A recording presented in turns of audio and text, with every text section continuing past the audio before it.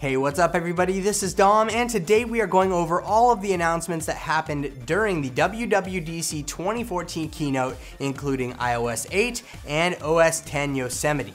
So what can you expect from these two new operating systems? Well, let's go ahead and find out. So starting out with OS 10 Yosemite, this is based on another location as Mavericks was from last year because, well, Apple ran out of cat names to use. So we are moving on to locations and there are plenty of them to name software versions after. So you can expect this trend to continue on throughout the years, but Apple has decided to go with Yosemite for this year's theme. Now there are plenty of new features that go along with OS 10 Yosemite, but one of the biggest changes you may notice is visually. Apple has given it a facelift. Now we're not quite to the flatness that comes along with iOS 7, but you will notice different things like icon changes, different colors being used throughout the user interface, and we also do have this Windows Aero type of translucency that maybe you remember from back in the Vista days. So that's kind of another change as well. Now, for those of you that aren't a fan of the bright and white UI, Apple has introduced a new dark mode that will be available with OS 10 Yosemite. So you can kind of tone things down a bit if you're not a huge fan of the bright white UI. Along with that, we have some new features for Notification Center, including customizable widgets that you can extend from different apps that are available for OS 10. So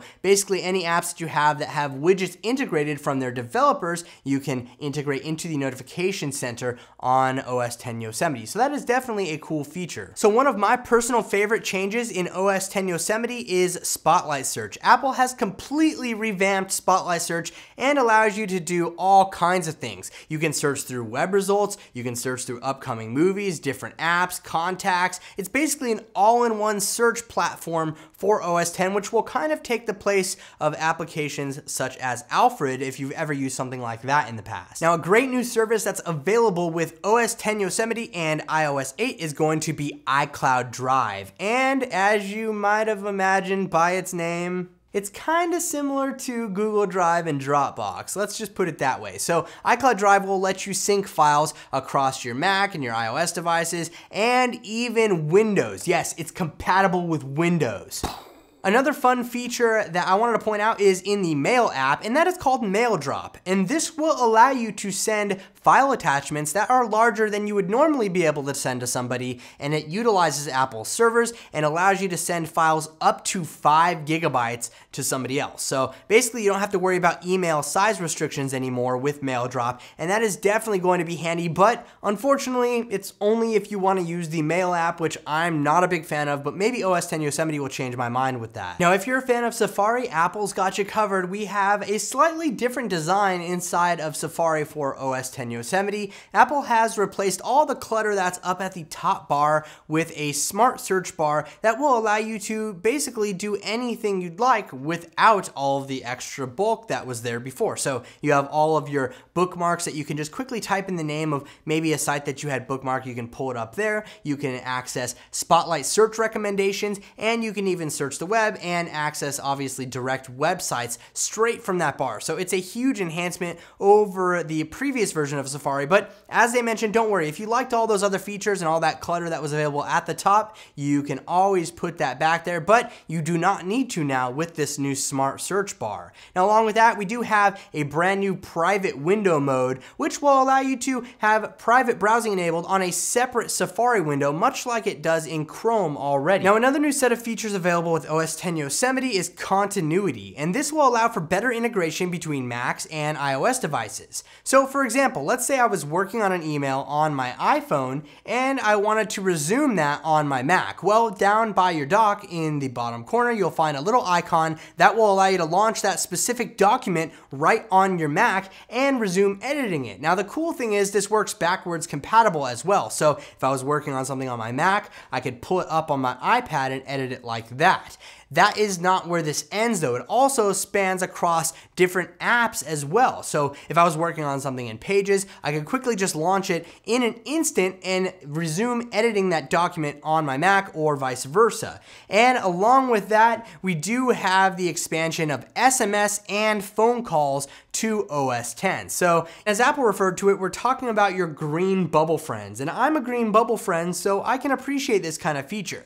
Now, this will allow you to send and receive SMS messages and phone calls directly from your Mac that's connected to your iPhone. So it's a pretty handy feature, and you can even have your phone plugged in somewhere else, maybe in the other room or something, and be able to utilize the calling and text messaging features available on your iPhone. So we're not just talking about iMessage here, we're talking about straight up SMS messages to other users that don't use an iPhone or an iOS device. So it's very, very helpful in my opinion. And like I said, I'm one of those green bubble friends right now, so I could definitely appreciate the addition of SMS and phone calls to OS 10 Yosemite. Now, overall, OS 10 Yosemite is filled with a bunch of features and probably tons more that they didn't announce, but I will tell you that there is a ton of integration that goes along with iOS 8 as well, and we are going to jump into that right now. Now, as I mentioned before, we do have continuity, which is available on OS 10 Yosemite, but that also translates over to iOS 8. So we have the same editing capabilities between iPhone and iPad, as well as the ability to send and receive phone calls and SMS messages between those devices, which is extremely helpful in my opinion. Apple has also streamlined the notification center to only include the notifications view and the today view,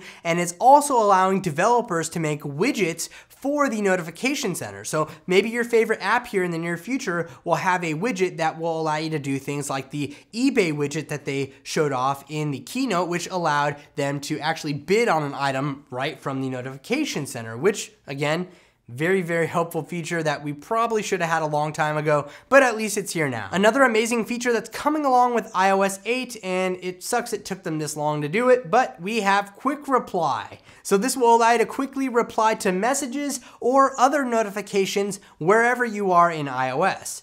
So for example, if I'm on the lock screen, I have options to swipe over and quickly access menu options for that, or if I'm inside of another app or anywhere else in iOS, when the banner pops up at the top, all I have to do is pull down on that and I can access the quick reply option and be able to quickly send a message back. Now, like I said, this does work with other apps as well. So if you have a calendar event that pops up, you can pull down and be able to address that. Or maybe one of your friends posts something on Facebook. If you see that banner banner pop up, swipe down on the banner and you have the ability to like it or comment, things like that. So very, very helpful feature. I can't believe it took them this long to come out with quick reply, but it is finally here. Now we also do have a new feature that you might find interesting, which is favorites in the multitask switcher. So if you pull up the app switcher on iOS 8, you'll actually see favorite contacts across the top, which will allow you to maybe quickly call somebody, FaceTime, or send a message message right there from the app switcher, which is nice instead of having to open up the phone app or the contacts app to access them.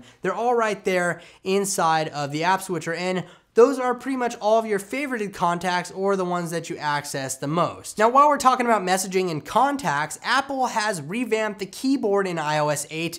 And first off, they're going to allow developers to integrate third-party keyboards natively across iOS 8. But along with that, we do have QuickType, which is basically your typical Android predictive text. So you'll have different suggestions pop up across the top of the keyboard as you type, and hopefully that will increase the speed of which you type on your iOS device. We do also have useful features in the Messages app, such as custom names for group messages, the ability to add and remove people from the group chat. We have do not disturb toggles on a per thread level. We have the ability to share the location in a conversation and quickly glance at attachments. Now, along with that, we have a new tap to talk feature, which will allow you to quickly tap and hold the microphone button to send an audio message to somebody in your messages app. So I can quickly hold that down and maybe say something to one of my friends, and they'll receive an audio message on their end, which they can play back from the lock screen or in line within the messages app. Not only that, but the same goes with video. So you can send inline video messages right in the messages app, and they can be played that way as well. So it's a very very, very useful feature. Apple did not announce an iWatch, but they did announce their new health integration, which is the Health app. And it's basically going to be an aggregator between all kinds of different health accessories that are available for iOS. So it'll pull all that information into one place and allow you to quickly see all of your statistics without having to open up every single app for every health device that you have. Another important feature that Apple announced is the ability to use the Hey Siri command. And this is going to be similar to your OK Google Now or OK Glass command, and it will allow you to give Siri specific commands without touching your device. Another thing I did want to touch on is the ability for developers to integrate Touch ID into their apps. Now, this is going to be huge for third party applications, allowing you to authenticate different apps with your fingerprint, and hopefully, we'll see things jump on board like PayPal and eBay and different popular apps like that, maybe even Amazon for shopping, things like that, to use Touch ID to authenticate your payment methods for those different applications. And along with that, they did announce HomeKit, which is kind of a centralized home automation hub for iOS devices. So this will basically be an API that will allow developers to integrate their home automation devices such as lights, garage door openers, door locks, things like that into iOS and even use Siri to invoke commands. So I could say, hey Siri, open up my garage door, and Siri will then prompt the home automation device to open the garage door. So